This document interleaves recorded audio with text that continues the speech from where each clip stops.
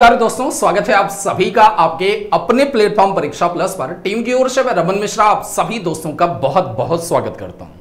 जैसा कि आप सभी को मालूम है कि इन दिनों आपके हर एक भिन्न भिन्न आयोग के द्वारा बहुत तेज़ी से तमाम भर्तियों को लेकर के आगामी लोकसभा चुनाव को देखते हुए अलग अलग विज्ञप्तियाँ जारी की जा रही उसमें लोक सेवा आयोग, जो आपका एक उत्तर प्रदेश का ठीक है?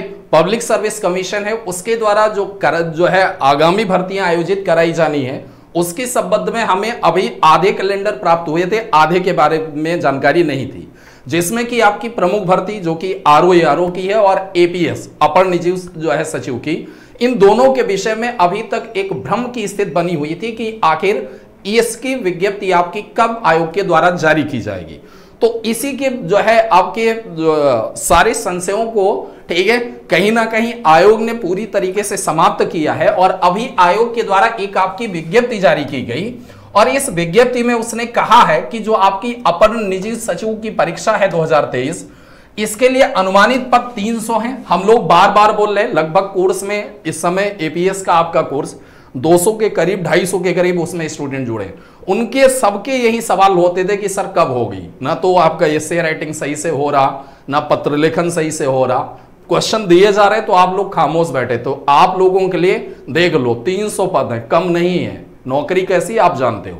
इसका विज्ञापन कब होगा? सितंबर माह के द्वितीय सप्ताह में सेकेंड वीक में। दूसरी है आपकी समीक्षा अधिकारी सहायक समीक्षा अधिकारी इसमें भी जितने लोग जुड़े हैं इस बैच में। सबके सामने यही था, सर वैकेंसी दिखाई नहीं दे रही, मन नहीं लग रहा। अब वैकेंसी आप देख लीजिए। मन लगे, अभी इसमें एक पद ही हैं। ये पद आपके बढ़ेंगे। डन है? और ये अक्टूबर माह के प्रथम सप्ताह में आएगी। ये जो वैकेंसी है, ये अक्टूबर माह के प्रथम सप्ताह में आएगी। एक सौ इक्यासी पद अभी इसमें बढ़ेंगे, पूरी की पूरी। अभी तो उसने बहरहाल एक जो है अनंतिम सूचना दे दी है, अंतिम सूचना दी है, भाई अनंतिम सूचना आएगी कि ये चीज़ें हैं। तो दोनों के साथ ही साथ उसने ये कह दिया है, भाई, अभी बहुत सारे अभ्यर्थी ऐसे हैं जिन्होंने ओटीआर नहीं किया है। तो यूपीपीएससी की वेबसाइट खोल लीजिए। अदर स्टेट के भी हैं तो आपको लोक सेवा आयोग आप जो है फॉर्म अप्लाई कर सकते हैं। ओटीआर सारे लोग भर लीजिए ओटीआर के बिना आप आगे अप्लाई नहीं कर पाओगे। ठीक है? और इसमें आपका, चाहे वो समीक्षा अधिकारी होगी, सहायक समीक्षा अधिकारी होगी, पर कमोवेश सभी प्रतियोगी छात्रों द्वारा आवेदन किया जाता है, जिसके कारण आवेदन करते समय वेबसाइट पर सर्वर डाउन। ठीक है, कठिनाई समस्या रहती, इसलिए ओटीआर जब रहेगा तो आपको आवेदन करने में कोई भी दिक्कत ना रहेगी। साफ़ तौर पर उसने मेंशन कर दिया है कि ओटीआर नंबर ना प्राप्त करने की स्थिति में ऑनलाइन आवेदन ना कर पाने का संपूर्ण दायित्व अभ्यर्थी का होगा। तो भैया, होशियार हो जाए। साथ ही साथ एक चीज़ ध्यान रखिएगा, जैसे आर ओ आर ओ को लेकर के, ठीक है, और जो है एपीएस का जो आपका है एपीएस के और आर ओ आर ओ के बैच आपके काफ़ी पहले से प्रारंभ है। जिसमें अगर आप लोग जुड़ना चाह रहे हैं तो Pariksha plus app Google Play Store से आप डाउनलोड करिए। डाउनलोड करने के बाद नए यूज़र हैं, यहाँ साइन अप करके आप रजिस्टर कीजिए, अपना मोबाइल नंबर ईमेल डालिए। और फिर आप कोर्सेज जब ओपन करेंगे तो कोर्सेज में आपके सामने ये सारे कोर्स आ जाएँगे। अब आपको जिस भी कोर्स से जोड़ना है एपीएस कोर्स से जोड़ना है तो आप एपीएस से जोड़ सकते हैं। अगर आपको आर के कोर्स से जोड़ना है तो आप आर के कोर्स से जोड़ सकते हैं। ये प्री कम मेंस का पूरा बैच है और एपीएस आपका कंप्लीट है। अगर आप इसमें डिटेल में जाएँगे तो डिटेल में जो चीज़ें आप देखेंगे कि इसमें जो जो चीज़ें आपको दी गई हैं, ठीक है? पूरा का पूरा आपका जैसे पत्र लेखन के सारी की सारी चीज़ें वीडियोज़ अलग हैं, ठीक है? उनके पीडीएफ पूरे के पूरे नोट्स ठीक है?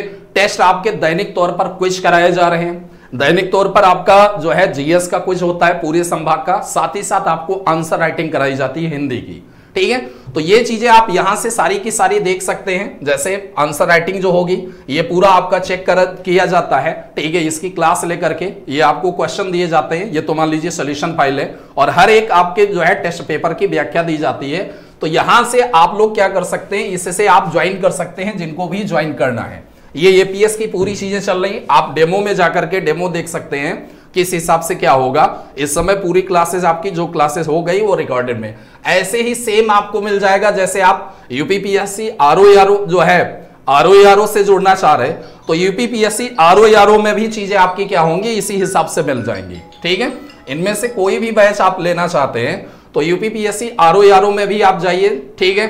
और उसको सीधा सीधा आपको परचेज कर लेना। बीओ का बैच, ठीक है? अभी जीएस का बैच है। बीओ को लेकर के भी अपडेट आपकी जारी हुई है।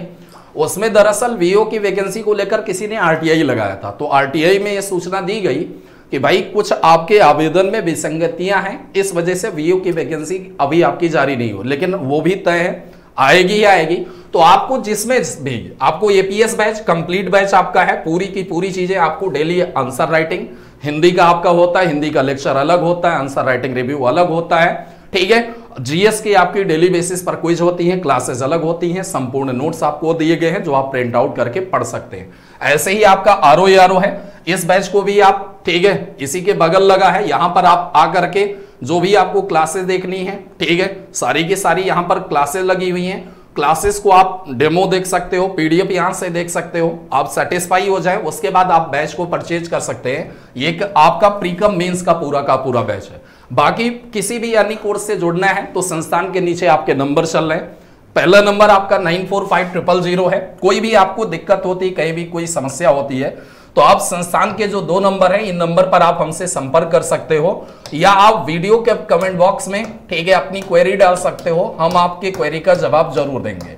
बाकी किसी भी चीज़ में कोई भी समस्या होती है तो आप दो नंबरों पर, ठीक है, कॉल करके आप हमसे संपर्क कर सकते हो। ये संस्थान के नंबर हैं। और पूरी मेहनत के साथ लग जाइए। जितने भी एपीएस वाले हैं, खास तौर पर जो है लगभग ढाई सौ, तीन सौ बच्चे जुड़े हुए हैं कोर्स से तो उनसे मुझे मेरा ज़रूर कहना है कि अब आप पूरी तरीके से फोकस हो जाएँ और कंप्लीट तरीके से आप अपनी जो है तैयारी को एक दिशा दीजिए। बाकी चीज़ें आपकी जैसी चल रही है, कोई भी समस्या होती है तो फिर हम लोग मिलेंगे जल्दी दूसरी अपडेट के बाद।